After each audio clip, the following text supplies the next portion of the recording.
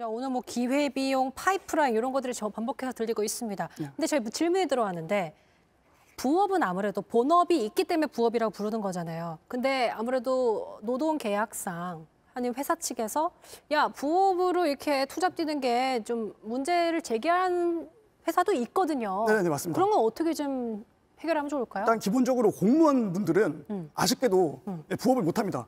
아 공무원분들은 안 된다고 합니다. 네, 공무원분들은 공식적으로 부동산 임대업을 제외한 예, 어떠한 부업도 할 수가 없는데 단 기관장이 허락하면 책 출간이나 어, 뭐 강의 정도는 할 수 있다고 알고 있는데요. 혹은 뭐 블로그나 유- 유튜브 정도는. 네.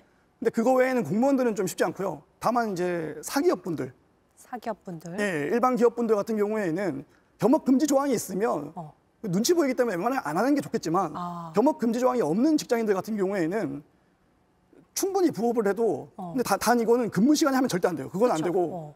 퇴근 이후 주말에는 해도 된다라는 법적인 판례도 있습니다. 오, 법적인 판례가 또 있답니다. 하지만 단 전제 조건 노동 시간 안에서 그러니까 임금이 계약된 그 시간 안에서는 하시면 안 되고 그 네. 그쵸. 이후의 시간에서만 퇴근하고 가능하다. 요거 좀 염두에 두시면 좋을 것 같아요. 당연한 얘기긴 한데. 예, 그리고 부수입이 연수입으로 2천만 원 이상이 넘어가 버리면 음. 건강보험료가 오를 수 있기 때문에 그 점을 주의하셔가지고 부수입을 적당한 선으로 이제 맞춰 놓으시면 어. 예, 건강보험료가 안 오르기 때문에 예, 그것도 좀 주의하셔야 됩니다. 2천만 원이 약간 왔다 갔다 하는 그 세금 음, 마진 라인이라고 합니다. 여러분 그것도 좀 염두에 두시면 좋을 것 같아요.